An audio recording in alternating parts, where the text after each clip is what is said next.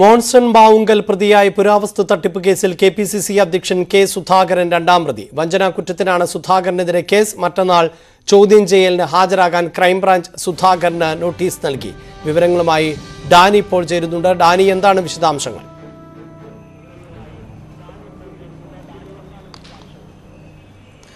അഭിലാഷ ഈ കേസുമായി ബന്ധപ്പെട്ടുകൊണ്ട് നേരത്തെ ഇത് സംബന്ധിച്ച വിവാദങ്ങൾ ഉയർന്നിരുന്നു. സുധാകരന് ആ മോൺസൺ മാവുങ്കിലുമായി അടുത്ത ബന്ധമുണ്ടെന്ന് കാണിക്കുന്ന രീതിയിലുള്ള ചിത്രങ്ങൾ പുറത്തു വന്നിരുന്നു. അതോടൊപ്പം തന്നെ ഇതിലെ പരാതിക്കാർ ഏറ്റവും പ്രധാനപ്പെട്ട ഒരു കാര്യം വ്യക്തമാക്കിയിരുന്നു. പരാതിയോടൊപ്പം പറഞ്ഞിരുന്നത് തങ്ങൾ പണം കൈമാറുന്ന സമയത്ത് തങ്ങൾ മോൺസൺ മാവുങ്കിൽ ഏതാണ്ട് ഇരുപത്തിയഞ്ച് ലക്ഷം രൂപ കൈമാറുന്ന സമയത്ത് അവിടെ അന്ന് കെ സുധാകരൻ ഉണ്ടായിരുന്നു എന്ന് വളരെ വ്യക്തമായിട്ട് തന്നെ പറഞ്ഞിരുന്നു. പക്ഷേ അത് സംബന്ധിച്ച് കൂടുതൽ വിശദാംശങ്ങളിലേക്ക് അന്ന് അന്വേഷണ സംഘം ചെന്നെത്തിയിരുന്നില്ല.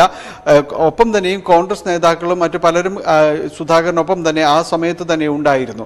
ഇതിൽ വിവാദങ്ങളായ സാഹചര്യത്തിൽ കെ സുധാകരൻ ഇത് സംബന്ധിച്ച് നൽകിയ വിശദീകരണം താനൊരു ചികിത്സയ്ക്ക് വേണ്ടിയാണ് മോൺസൺ മാവുകലിന്റെ അടുത്തേക്ക് പോയത്. ഒരു കോസ്മെറ്റിക് ചികിത്സയ്ക്ക് ഒരു സുഹൃത്ത് നിർദ്ദേശിച്ചതനുസരിച്ചാണ് അവിടേക്ക് ചെന്നതെന്ന് അദ്ദേഹം പറയുകയുണ്ടായിരുന്നു. പത്ത് ദിവസത്തോളം ചികിത്സാ നിർദ്ദേശമെങ്കിലും അത്ര ദിവസത്തോളം അവിടെ തങ്ങിയിരുന്നില്ല എന്നും വ്യക്തമാക്കിയിരുന്നു.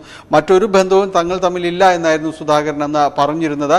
ഇത് സംബന്ധിച്ച ഇപ്പോഴാണ് ഇപ്പ- ഇത് സംബന്ധിച്ച് കൂടുതൽ ഒരു അന്വേഷണം നടത്തിക്കൊണ്ട് ഇക്കാര്യങ്ങൾ സംബന്ധിച്ച ഒരു റിപ്പോർട്ട് ഇപ്പോൾ crime branch Ernakulam A C G എമ്മിൽ സമർപ്പിച്ചിരിക്കുന്നത്. അത് പ്രകാരം ഈ വഞ്ചന കുറ്റത്തിൽ ഇപ്പോൾ കെ സുധാകരനെ രണ്ടാം പ്രതിയാക്കി ചേർത്തിരിക്കുകയാണ്. സുധാകരനോട് അടുത്ത ദിവസം മറ്റന്നാൾ കളമശ്ശേരിയിലെ അന്വേഷണ ഉദ്യോഗസ്ഥന് മുൻപാകെ ഹാജരാകാനാണ് ആവശ്യപ്പെട്ടിരിക്കുന്നത്. ഇത് സംബന്ധിച്ച കൂടുതൽ അന്വേഷണം നടത്തണമെന്നും കേസിൽ സുധാകരനെ ചോദ്യം ചെയ്യേണ്ടത് അത്യാവശ്യം തന്നെയാണെന്നും ഈ റിപ്പോർട്ട് വ്യക്തമാക്കുകയും ചെയ്യുന്നുണ്ട്.